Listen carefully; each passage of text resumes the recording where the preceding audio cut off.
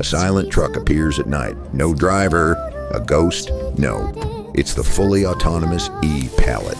It transforms upon stopping. Inside isn't a human, but a robot arm. Welcome to the future meet Octo Chef, an AI-powered master chef born to cook takoyaki. Cute but seriously skilled, look at that precision. Pouring batter without spilling a drop. Humanly impossible speed. Wait for it. AI eyes track the holes and shoot octopus perfectly. Deep Learning knows exactly where everything is. The main event, high-speed flipping, spinning them instantly with vibrating picks. That wrist snap is god tier. Is it cooked? Don't worry.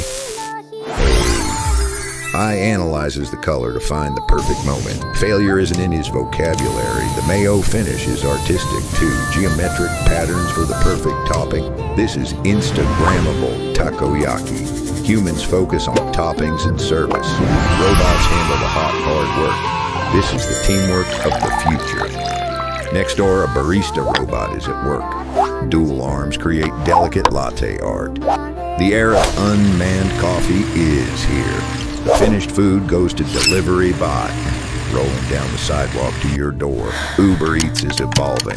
Robots work 24-7 without complaining. Labor shortage, not an issue. With them, Hey everyone! Welcome to the available. Robo Chow stop. food Step right up. Sushi and pizza.